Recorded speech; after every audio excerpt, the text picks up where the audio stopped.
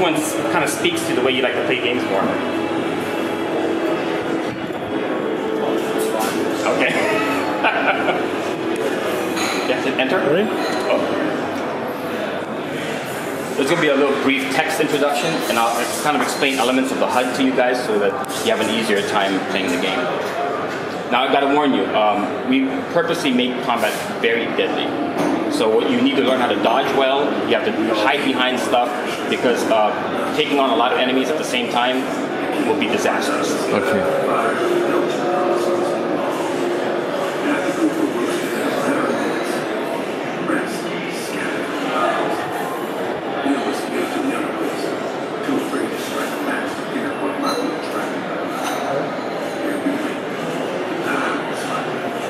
All right. So the red bar here is your health bar. As you take damage, press one and you'll consume one of these dragon hearts and you'll that. The blue bar is your stamina bar. Whenever you dodge, whenever you swing your melee weapon, whenever you sprint, you're going to deplete that blue bar. Pressing two will activate that ability I was telling you about the call of root creatures. You can have up to three of them on screen at any time, and they'll refresh. Uh, pressing Q will switch between uh, main weapon and secondary weapon, and F will turn on the flashlight when it gets a little bit dark. Super. Now, uh, Always Q is Q. uh, Q is to switch weapons. Yeah. For me, For melee, just press the fire button, the, uh, the left mouse button, and you'll do a melee attack. okay. Now, right, yeah. If you hold down the right mouse button, it should go into aim mode, and then you press the left mouse button to shoot. So now what, you, what, what that is, it lets you go from melee to ranged very quickly. Yeah. And you can press spacebar to dodge in the direction that you're moving.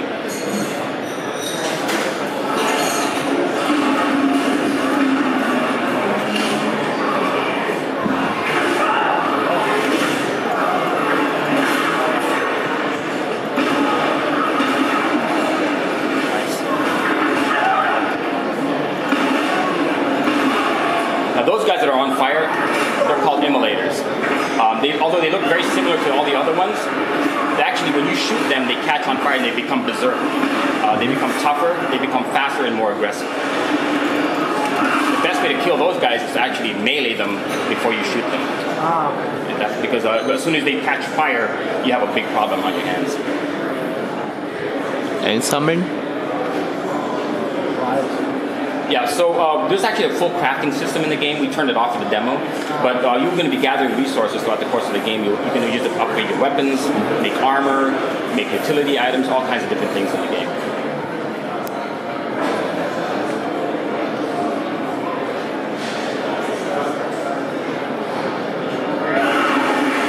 All these fonts are different guy to attack.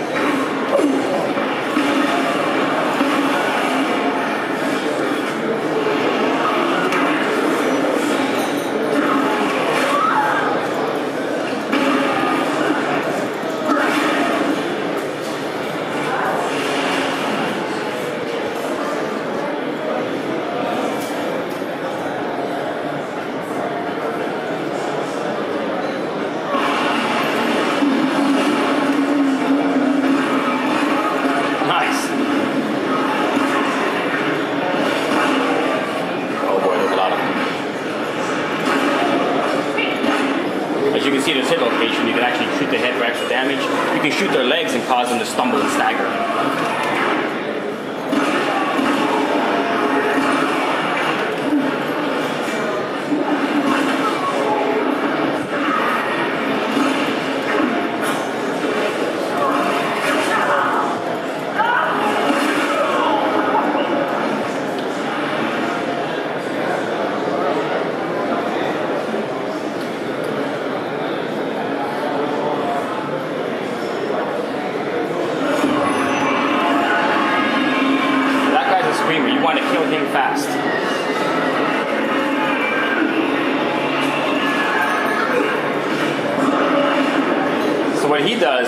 Actually spawns more of those guys. In order to get away from you, he'll teleport in and out of the battlefield. There you go.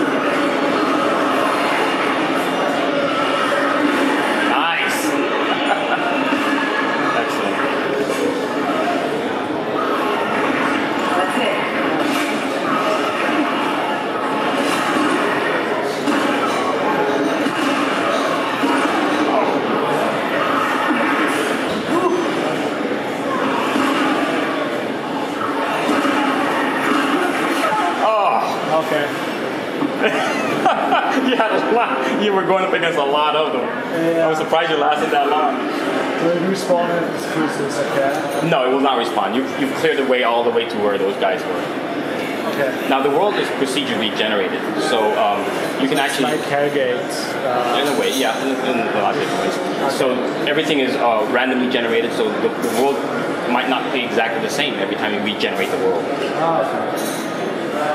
But you can regenerate the world and then and have a whole new set of encounters again, more resources. To, the idea behind Remnant is that there is a story campaign that takes you from Earth to three alien worlds.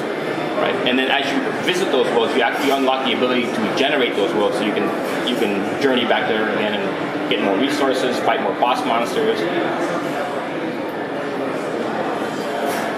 So that's an interesting resource. That's a natural resource. You can either harvest it for, for uh, recipe ingredients, or you can shoot it, it'll explode. You do damage to enemies in the area.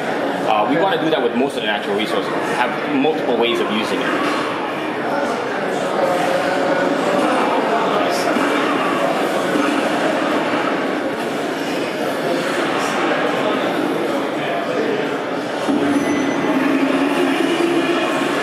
So that guy is a brute. Don't let him hit you. Oh, nice. Stagger.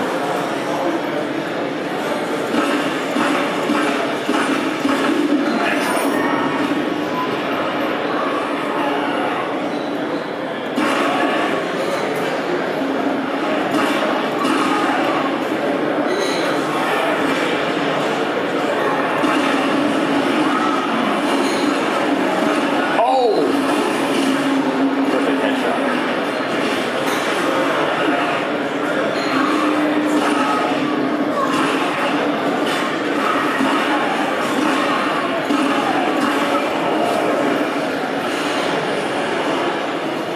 How I get ammo? Is that? How I get ammo for? Ammo is a limited resource, so you'll find sometimes the enemies will drop them. So we want ammo to be uh, the kind of resource that you that you have to worry about when you're fighting. Uh, try to conserve as much of it as you can. Obviously, sometimes you have to rely on expending a lot of ammo, but we want ammo to be a stress point for the player.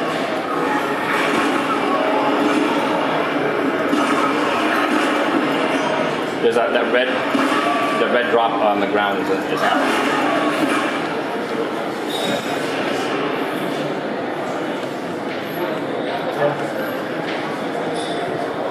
Uh, green one will be long gun ammo, so that'll be for your shotgun. Nice.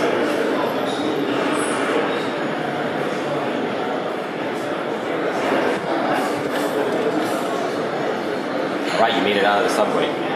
So once you once you once you exit the subway, I'll kind of explain what's what's next.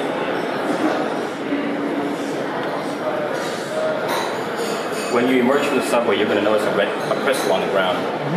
When it activates, uh, what happens is it becomes a checkpoint. So when you die, instead of respawning all the way back at the beginning of the subway, you'll respawn to the checkpoint. It will also replenish the dragon hearts the. So if you use up all your dragon hearts, you'll, you'll go back. You didn't use any. And it will also, when it happens, what happens when, you, when it activates. Notice how it, it replenished all of your ammo as well. So if you can if you can make it to a checkpoint, you'll get a replenishment of all the stuff that you can fight. Super. Uh, no, just go to leave checkpoint, and then just head down the street. We'll come back to that. Uh, we'll come back to that in a minute. There's a there's a secret that I want to show you guys after you've uh, seen the other parts of the map.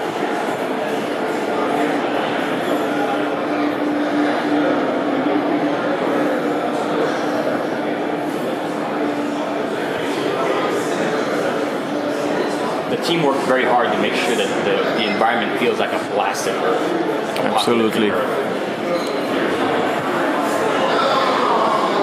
So everything in the everything you learned in the subway, you're gonna have to rely on that here.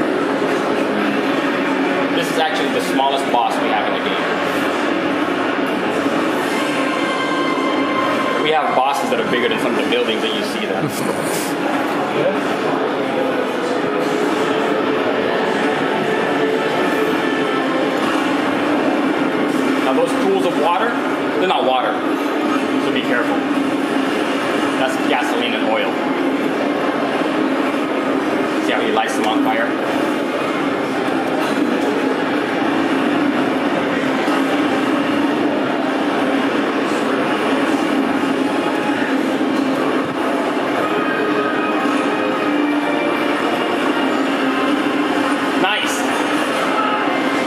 he calls reinforcements when he does that, so be careful.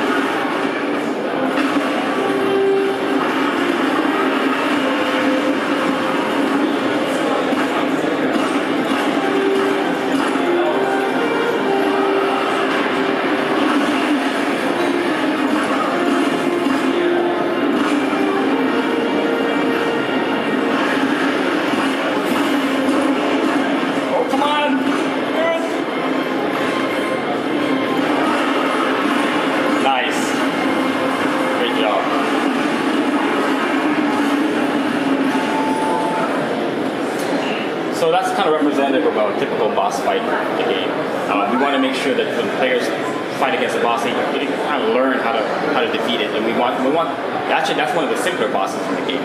And there's multiple ways to kill every boss. In fact, um, you get different resources depending on how you kill the boss. For example, with that creature, you could have shot its tail off, and when it dies, it gives you a different set of resources. Uh, there are some bosses that uh, actually, if you kill them in multiplayer, there's multiple ways. There's different ways you can kill them in multiplayer that will give you different resources as well. So that's kind of the idea behind bosses in general. Uh, now, if you go if you go back the way, uh, turn around. If you go back that way, go back to that red crystal. I'll uh, show you one of the worlds, an, ex- an example of one of the worlds that you'll be able to journey to in the full game. What do you think of the boss fight? You did you did great. It didn't look like it was much of a, a challenge for you. Uh, yeah, a little bit. when you you play Dark Souls and so, it's uh, Yeah. Yeah, you- I think you know. With, with uh, long range weapons, it's also uh, easier to fight bosses. Yeah, yeah, exactly. Range. So go down to fast travel, and then jungle. So in, we're, we're, we're taking to another world. This is called the Pan world. It's one of the worlds that have have not been invaded by the root yet. But the creatures on that world are very hostile to humans, and they are very, very fast. And now the one thing you have to worry about this world is not, it's beautiful, it's very different than Earth, but the creatures in it are very different than the root. And so you have to relearn how to fight. And that's kind of the idea we have uh, for all the worlds, is that we want the, world to change not just visually, but the way you fight the creatures has to change as well. So every time you come to a new world, you have to relearn the fight.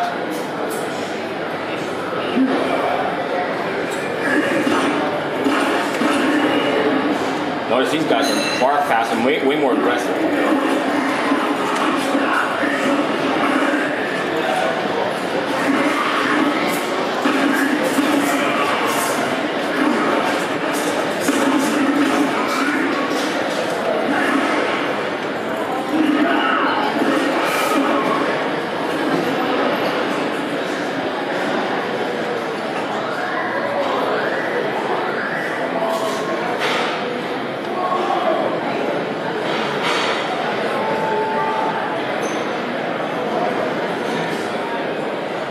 Said before, we want to make sure to present players with really interesting environments to fight in. Um, the art team goes to great lengths to make sure the environments look beautiful, have a lot of mood to them. And, uh, I think it shows.